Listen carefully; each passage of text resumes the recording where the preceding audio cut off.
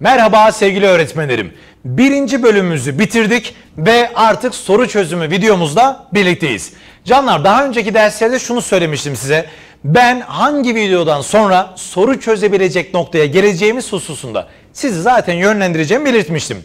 Birinci bölümü bitirdiğimiz için sizler bu konunun pekişmesi adına lütfen elinizdeki yayınlardan çözebildiğiniz kadar fazla soru çözün. Yanlış yaptığınız konu başlıklarına dönerek gerek video izleyerek gerekse ders notundan okuyarak eksiklerinizi kapatın ve hep birlikte sağlam bir şekilde işi baştan sıkı tutarak adım adım ilerleyelim. Şimdi ben burada örnek olarak size birinci bölümle ilgili öğrendiklerimizi soru üzerinde nasıl kullanacağımızı göstermeye çalışacağım. Ve örnek bir 10 adet soru çözeceğiz. Ama lütfen devamını siz getirin ve çözebildiğiniz kadar çok soru çözün. Peki burada hemen birinci soruyla başlayalım. Birinci sorumuzda şunu söylüyor. Bir okulda derslerin sağlıklı bir şekilde işlenmesi için araç gereç eksiğini temin etmek kimin görevidir diye soruyor. Araç gereç eksiğini temin etmek. Şimdi arkadaşlar zaten burada özel yetiştirme ile aynı zamanda rehberlik hizmetleri biliyorsunuz öğrenci kişilik hizmetlerinin zaten alt başlığıydı. Biz çağdaş eğitimin 3 boyuttan oluştuğunu söylemiştik. Öğretim, yönetim ve bir de öğrenci kişilik hizmetleri. Burada yönetimin görevleri şunlardı. Kayıt kabulle uğraşmak, devamsızlığı takip etmek, geç kağıdı vermek, aynı zamanda okul aile veli toplantıları gibi ya da anma etkinlikleri gibi çeşitli organizasyonları planlamak artı aynı zamanda öğretim hizmetlerinin daha disiplinli, daha düzenli ve sistematik bir şekilde yürütülmesini sağlamaktı. Ama son olarak şunu ekledim. Bir okulda personel eksiği varsa ya da araç gereç eksiğimiz varsa bütün bunları temin etmek kimin göreviydi okulda? İdarenin yani yönetimin göreviydi arkadaşlar. Peki ikinci sorumuza geldiğimizde, ikinci sorumuza geldiğimizde arkadaşlar burada öncüllü bir soruyla karşı karşıyayız. Daha önceki derste dedim ki arkadaşlar ÖSYM artık öncüllü sorulara biraz daha ağırlık verdi. Çünkü sorular öncüllü olduğunda aynı soru içerisinde sizin birden fazla bilginizi yoklayabiliyorlar. Peki burada yukarıdaki bilgilerden hangileri öğrenci kişilik hizmetleri için doğru bilgidir demiş. Hangileri öğrenci kişilik hizmetleri için doğrudur demiş. Birinci maddeye bakıyoruz. Öğrenci kişilik hizmetleri çağdaş eğitimin ayrılmaz bir parçasıdır demiş.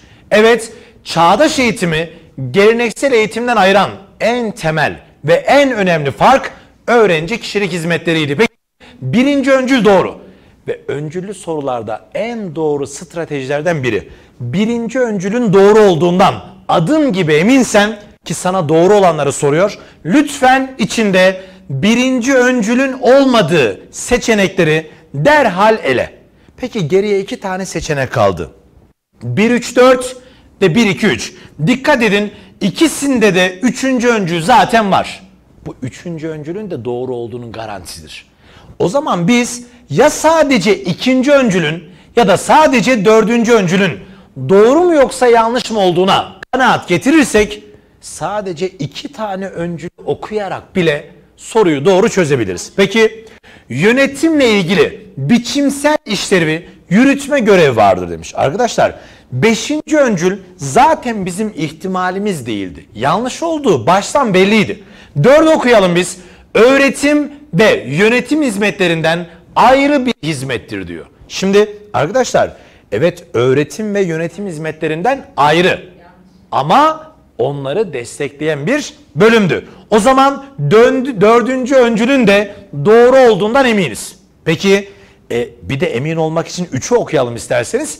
Öğrencilerin üst düzeyde öğrenmelerine ve gelişmelerine yardımcı olur. Hatırlayın öğrenci kişilik hizmetleri bilişsel, duyusal ve psikomotor olmak üzere öğrencinin bütün yönleriyle gelişmesini destekleyebilecek 5 alt başlığa sahipti. O zaman sorumuzun doğru cevabı 1, 3, 4 ile Denizli seçeneği olacak arkadaşlar.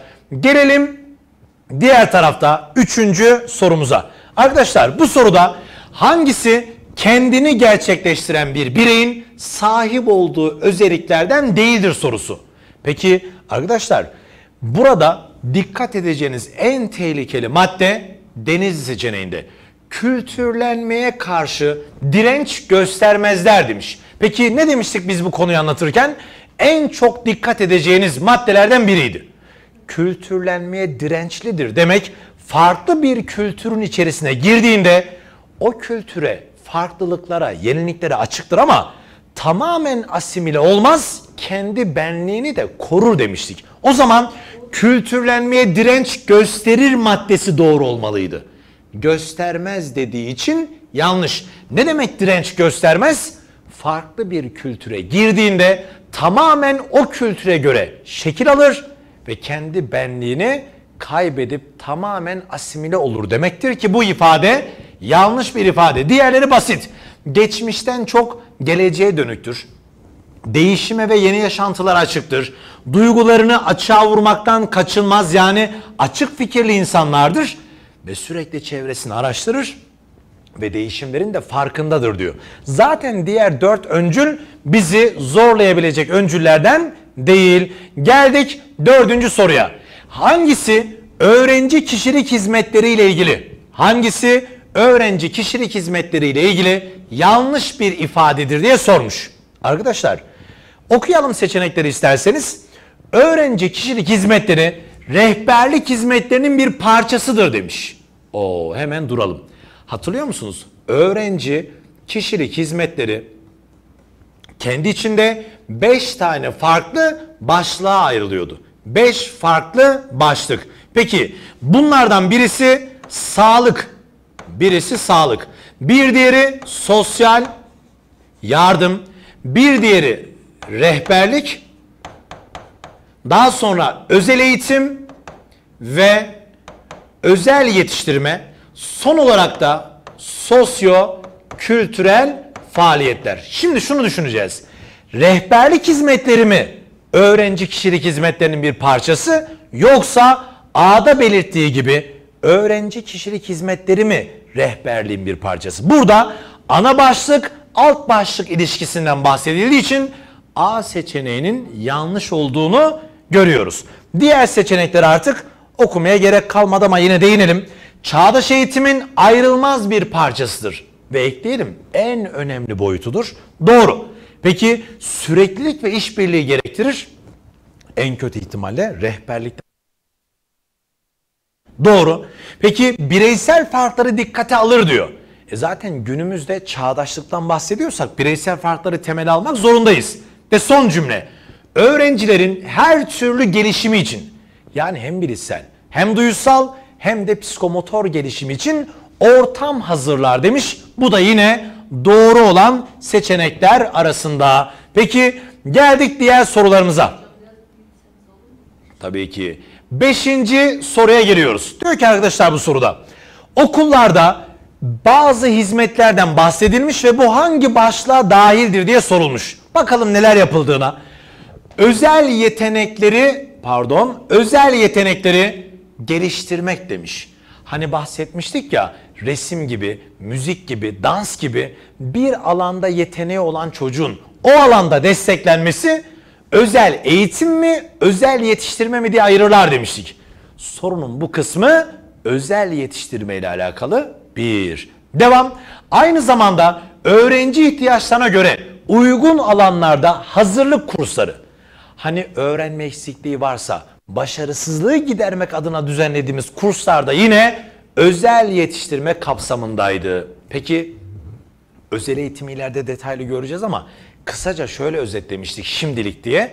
Fiziksel ya da zihinsel yetersizliği engeli bulunanlarla üstün zekalı olanlara özel eğitim deyip şimdilik bu haliyle özetlemiştik. Geldik 6. sorumuza. Yine öncülü bir soru.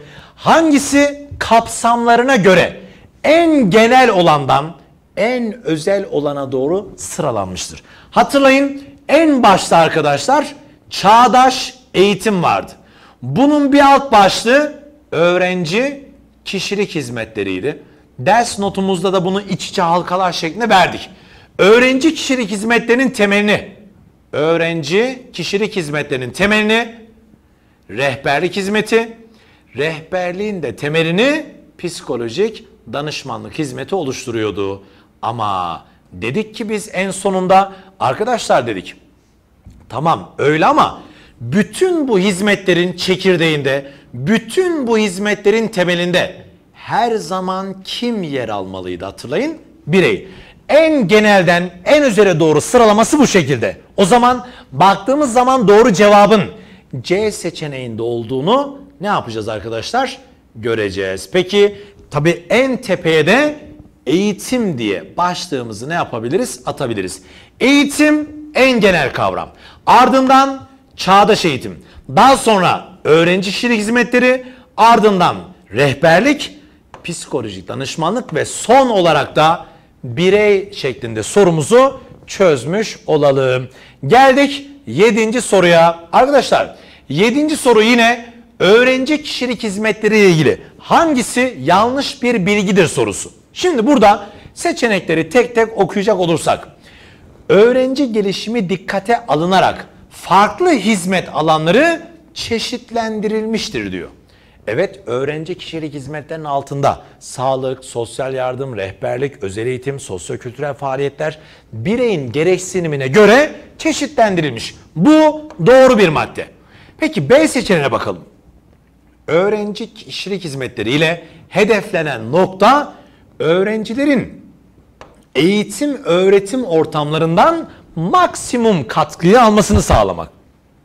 Yani kısaca öğretim hizmetinin verimini en üst noktaya çıkarmak. E bu da doğru. En temel amaç buydu. Ceyhan'a bakalım. Örgün eğitimde öğrenci kişilik hizmetleri öğretim ve yönetim hizmetlerini de kapsar demiş. Öyle bir kapsama olayı yok çünkü biz çağdaş eğitimi 3 boyuta ayırmıştık. Birisi öğrenci kişilik hizmetleriydi. Bir diğeri öğretim boyutuydu.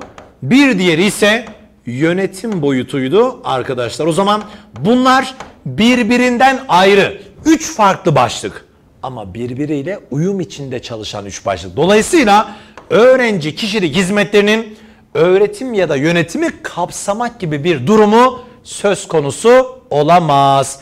Geldik son 3 soruya. Şimdi burada rehberlik hizmetlerine ilişkin ortak tanımlar sorulmuş. Arkadaşlar ders anlatırken demiştim ki biz rehberlik nedir sorusunun cevabını ararken bir taşla iki kuş vuralım. Ortak ifadelerin de ne olduğunu belirtelim demiştik. Peki burada rehberlikte hangisi ortak özelliklerden biridir? Bakın rehberlik hizmetlerinin bir yardım hizmeti olması ortak tanımlardan biriydi. Ama bu yardım sadece fizyolojik değil. Fiziksel, duyusal, psikomotor her anlamda. O zaman A yanlış. Peki belli bir dönemde yanıp yapılan bir hizmettir demiş. Hayır, rehberlik hizmetleri süreklilik gerektiren bir hizmetti. Devam. Bilimsel ve profesyonel bir hizmettir. Evet, çünkü bu hizmeti ancak alanında eğitim almış uzman bireyler profesyonelce yürütür. Bu öyle her önüne gelenin sunabileceği bir hizmet değildir demiştik. Peki çıktı cevap ama rehberliğin esası bireyin daha etkin çalışmasını sağlamaktır. Rehberliğin asıl amaçları bireyin kendisini tanıyarak, çevresindeki imkan ve olanaklarında farkına vararak kendini gerçekleştirmesini sağlamaktı. Son cümle bireyin özellikle zayıf yönlerine odaklanır. Hayır, zayıf yönleri tolere edilmeye çalışıldığı, geliştirilmesine yardım etmeye çalışıldığı gibi gelişmiş yönlerinin de daha fazla desteklenmesi sağlanabilir. Peki geldik 9.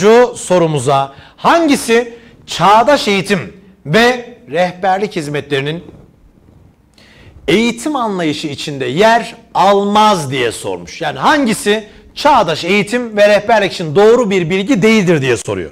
Peki arkadaşlar 9. soruya baktığımızda evet cevap anahtarımız da görünüyor yan tarafta. Şimdi burada diyor ki öğrencinin güçlü bir kişilik geliştirmesini ve çevreye uyum sağlamasına yardımcı olmak. Gayet olumlu ve doğru bir ifade. Geçtik. Bursa seçeneğine bakıyoruz arkadaşlar. Öğrencinin duygusal, sosyal, fiziksel yönden bir bütün olarak sağlıklı bir şekilde gelişmesine olanak sağlayan bir ortam oluşturmak. O da var. Peki öğrencinin kapasitesi ölçüsünde gelişmesine ve kendini gerçekleştirmesine yardım etmek. E bu da doğru. Öğrencinin eğitim ortamından en yüksek düzeyde yararlanması için tüm imkanları seferber etmek. E bu da doğru. Edirne'ye baktığımızda diyor ki rehberlik hizmetleri bireylerin sağlıklı bir şekilde çevreye uyum sağlaması için onları topluma uyumlu ya da toplumun kurallarına uyan biri haline getirmek ve bu noktada zorlamak demiş ki rehberliğin böyle bir amacı tabii ki yok. Son soru.